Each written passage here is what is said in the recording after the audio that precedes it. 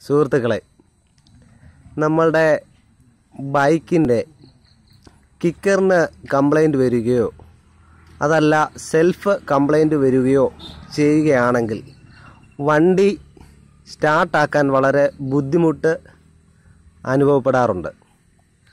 അതിന് എങ്ങനെയാണ് ഒരു പോംവഴി കണ്ടെത്തുക എന്ന് നമ്മുടെ സുഹൃത്തായ ഒരു മെക്കാനിക്ക് നിങ്ങൾക്ക് കാണിച്ചു തരുന്നതാണ്.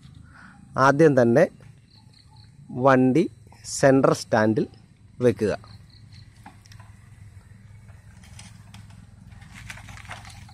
അതിനുശേഷം വണ്ടി താക്കോൽ ഓൺ ചെയ്യുക.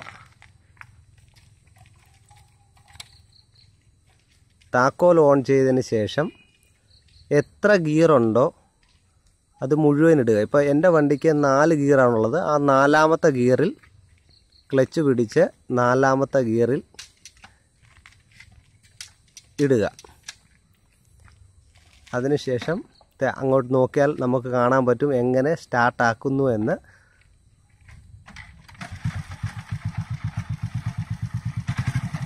കണ്ടോ? എല്ലാവർക്കും വളരെ ഉപകാരപ്പെടും ഈ വീഡിയോ. വളരെ നിസ്സാരമായിട്ട് അദ്ദേഹം വണ്ടി സ്റ്റാർട്ടാക്കിയിരിക്കുന്നു നന്ദി നമസ്കാരം.